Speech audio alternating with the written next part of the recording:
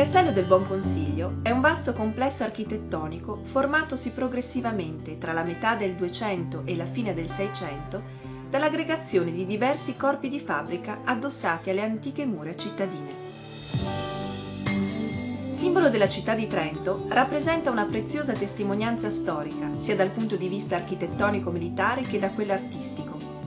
Visse infatti dei secoli di grande splendore, costituendo la residenza dei principi vescovi di Trento dalla seconda metà del XIII secolo fino alla secolarizzazione del Principato nel 1803.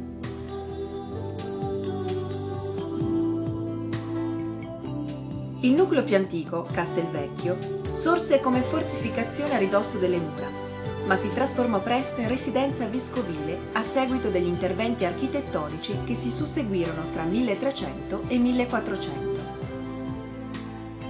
In particolare, Giorgio di Liechtenstein collegò al castello Torre dell'Aquila, preposta al controllo del lato orientale della città, e al suo interno fece affrescare al pittore boemo Venceslao il celebre Ciclo dei Mesi, considerato un capolavoro assoluto del gotico internazionale.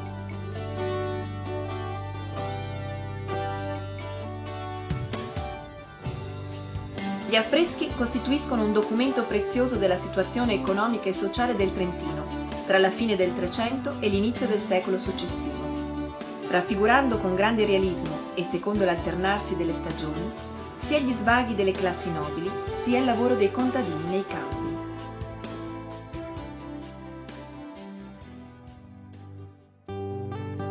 Bernardo Cles principe vescovo dal 1514 al 1539, affiancò all'antico edificio il Magno Palazzo, una maestosa residenza rinascimentale, e per decorarla chiamò in città alcuni tra i migliori artisti del tempo. Dosso e Battista Dossi, Girolamo Romanino, Marcello Fogolino, Vincenzo Grandi, Alessio Longhi e Zaccaria Zacchi. Al Romanino venne affidata la decorazione di vari ambienti, tra cui la loggia che si apre sul cortile dei leoni, un ambiente posto in posizione centrale e di raccordo fra le varie parti del palazzo. Tra 1531 e 1532 l'artista bresciano realizzò un celebre ciclo a tema profano, con episodi mitologici risalenti alla tradizione della letteratura classica o ricavati dalla Bibbia.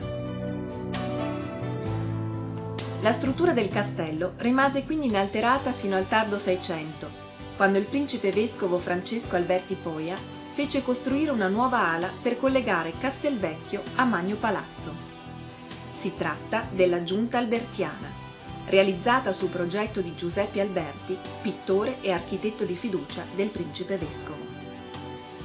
Dopo la fine del potere temporale dei vescovi, il castello iniziò il suo lento declino nel XIX secolo venne trasformato in caserma e durante la Prima Guerra Mondiale vi furono imprigionati e giustiziati alcuni noti ridentisti trentini, tra cui Cesare Battisti, Fabio Filzi e Damiano Chiesa.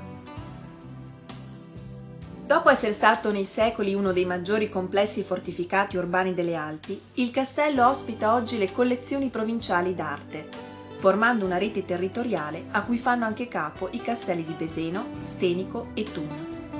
Ed è anche sede di importanti mostre.